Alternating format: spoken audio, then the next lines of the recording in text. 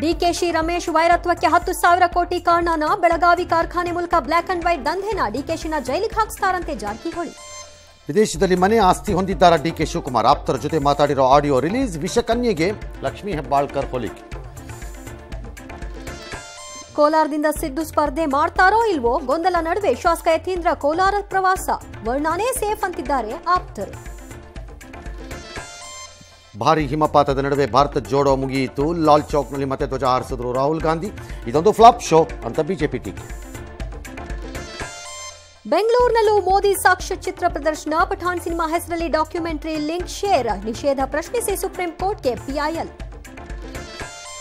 ಗೋರಖನಾಥ್ ದೇಗುಲ ದಾಳಿಕೋರನಿಗೆ ಗಲ್ಲು ಶಿಕ್ಷೆ. ಅದಾನಿ ಸಮೂಹ ಹಿಂಡನ್ಬರ್ಗ್ ಸಮರ ತೀವ್ರ ನಾಳೆಯಿಂದ ಕೇಂದ್ರ ಬಜೆಟ್ ಅಧಿವೇಶನ ಪ್ರಾರಂಭ.